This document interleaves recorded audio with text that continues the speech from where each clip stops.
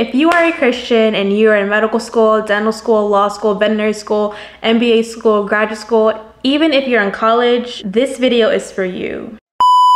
Welcome or welcome back to my channel. If you're anything like myself and you know you find yourself in positions where your academics just felt like it had a higher priority over your spiritual life and just over other things, you're not alone because I've been there and I'm working through it. And for my program, I remember one thing they told us they were like, school has to be your number one priority. I remember hearing that and I was like, no, wasn't gonna be me.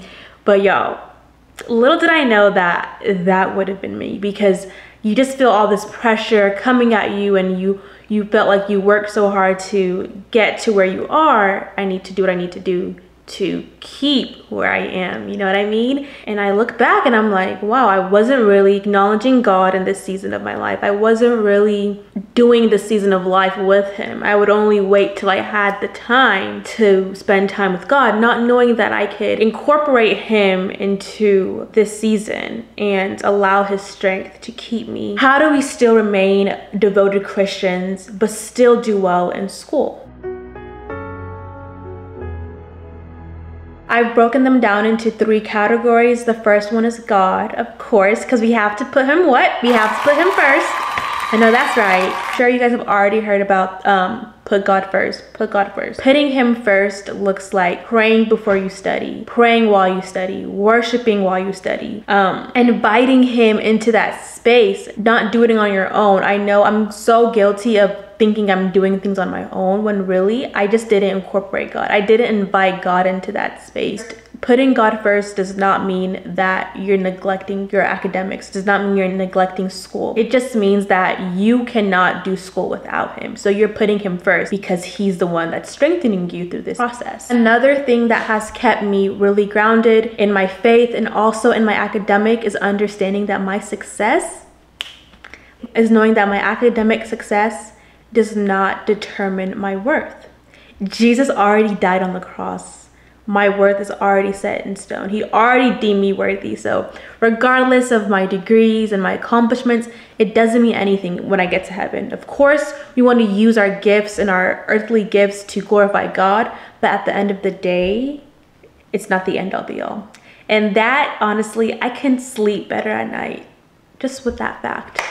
So going back to the whole prioritizing God, when you prioritize God, you're you're acknowledging that he's in control of every step of your path and that he will direct and continue your path and like I said that you can't do it alone without him. You're depending on him. I see this period as a pruning season to get closer to God, to draw closer to him as I'm sacrificing a lot of things to be in school and I'm not sacrificing it for the world. I'm sacrificing it for God and I'm using this as another period to get into the quiet place if I have to separate myself from certain people, from certain things, from certain habits and that's what I'm doing because I'm getting closer to him and I'm doing better in my academics if that makes sense. And I honestly feel like this category we've as Christians we've heard this so many times, you know, seek God daily, pray, read your Bible, um, meditate on it and all that stuff. And that is so true. I think it's so important to stick with the basics. We don't have to complicate things. I'm sure your program, your school's already complicated enough. Let's not complicate our faith here, okay? So I think keeping God first is really just sticking to the basics of that constant communion with Him, that constant meditation, that constant inviting the Holy Spirit in on every step, within every day with you throughout your process and um, allow God to strengthen you and guide you. God brought us to this point of our lives. He's gonna sustain us to this point of our life, and we're just gonna remember to continue to seek Him daily, despite the challenges, despite the difficulties that we may face, despite how much stressed out we may seem, because we are not overcome by this world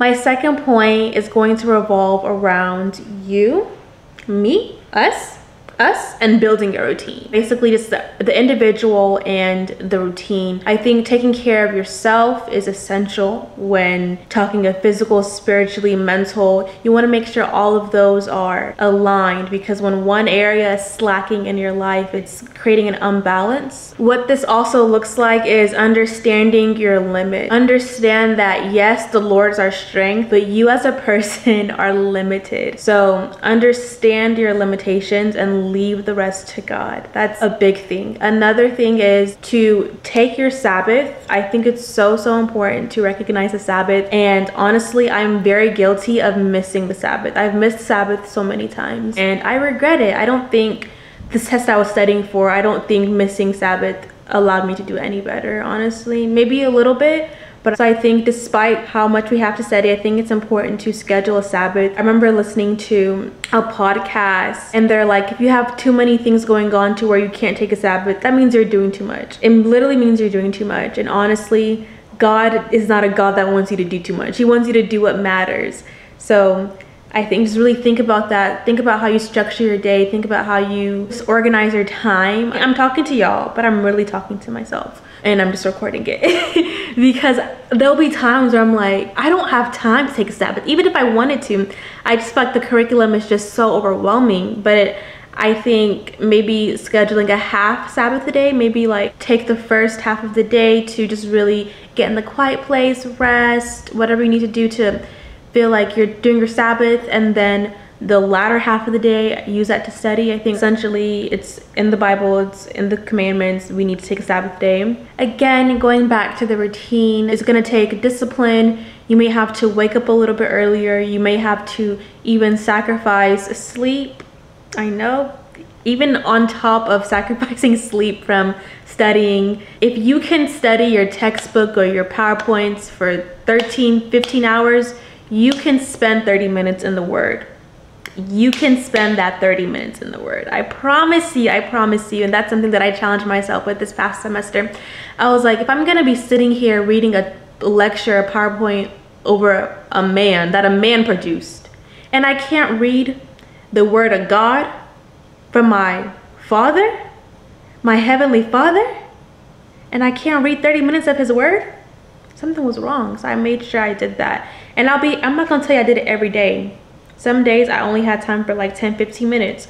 But for the most part, I made sure I strived. I said, if I'm gonna be waking up to study for earthly degree, I need to wake up and study for my heavenly degree, if that makes sense developing a consistent and spiritual routine can really is really beneficial in maintaining a relationship with Christ. I really think like and I'm sure you already know this like consistency is good for all relationships and especially the one who who makes our life worth living. And I also think it's important to remember that like the spiritual routine or whatever you're doing like praying, Bible, communion, worship, should not feel like a chore. It shouldn't be a burden. It should be something that you look forward to either towards the end of your day or at the start of your day.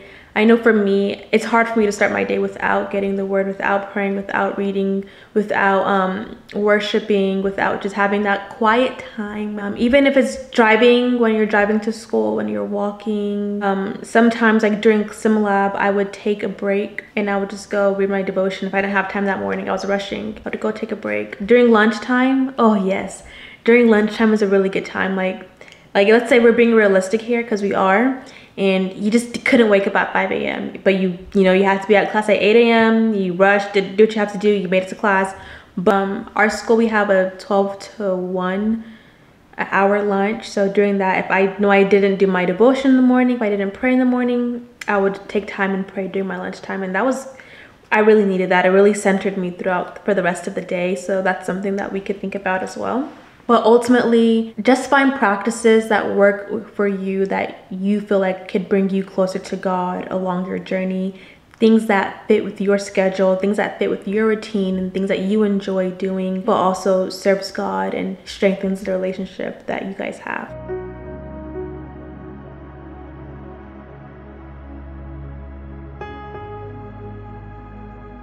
My third topic is gonna be about others, and this is about community, y'all. We cannot do life on our own, and whether it's academic, spiritual, business, like to be a one man island or to be a one, well, however they say it, to be a just an island, there's no joy in that.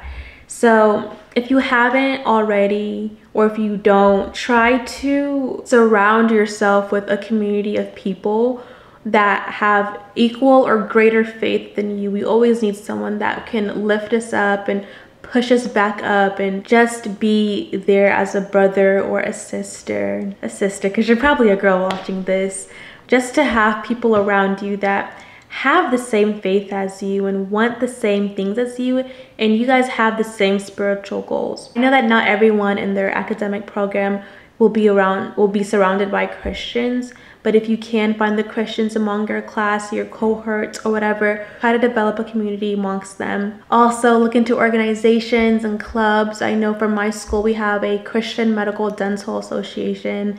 There's also schools that have like whatever like if it's a law christian law association and stuff like that look for groups like that. And i think that's a really good way to network and also build community of faith within your institution. Um, or also if you're in college and you're watching this a lot of christian there's a lot of christian ministries out there. I know there's chi alpha that's the only one i can think of that's global but there's a lot of small ones. So just reach out network and see what they have go on instagram. I'm pretty sure instagram is going to be a better director or a better directory than me.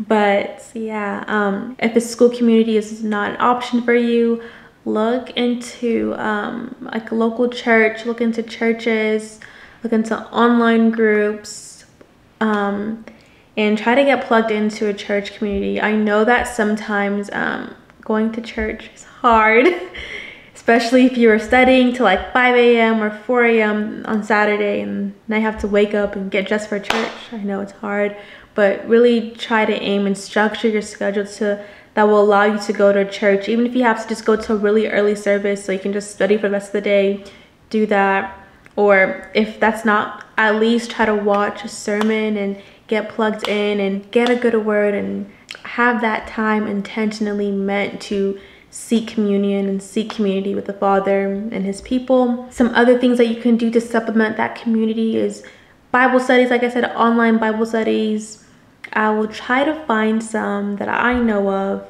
that are live and put them in the description box. I really hope I can get that organized. I plan to get that organized, of course. Also listening to edifying podcasts, making sure that the music you're listening to is edifying. Also include some good playlists that I have that I do say so. My friends have made them, not me. um, watching YouTube videos that edifies you and grows in your faith, and also having a spiritual mentor is also an important factor. Maybe someone you can go to that is of a higher authority than you. But y'all, I know I put this as the last one, but community is so, so, so important. You know the word says, as, as iron sharpens iron, so as another person sharpens another. So how can someone sharpen you if there's no one around you that's sharp enough? Aka with equal or greater faith. Be an active friend and to the friends that are keeping you grounded in your faith, that's super important. Especially if you don't have a community like physically in your school circle or whatever. Reach out to the people that you do have um, and commune with them and just engage in like edifying conversation. And I really think that is something that will keep you grounded it's so important to give yourself grace. It's not easy, and not a lot of people can do what you're doing. So give yourself grace and try to do better every day. And I think the biggest thing about Christian faith is knowing that we can't do this life alone. And that's why we need Christ to strengthen us. And that's why we need community to back us up. Yeah, graduate school, college, medical school, dental school, all of that is can definitely seem like a time of uncertainty and it's something it's a new process and i'm pretty sure it's like if you're in college it's your first time you're in college. If you're in graduate school it's the first time you're in graduate school. If you're in dental school it's the first time you're in dental school. So it's a new it's an it's a different season it's a different journey. And ultimately just continue to trust in God's plan for your life as you've already trusted him this far to get where you are trust in him and trust and as you're trusting in him you're putting him first i hope i said something useful and i really hope that you're able to apply it to your life and as i'm striving to be a better christian and a better dental student i encourage you to do the same thing If there's something that I said that was useful to you that you could apply in your life, definitely mention that below. I want to talk about it with you. I will see you guys in another video and thank you all so much for watching. Have a blessed and beautiful day.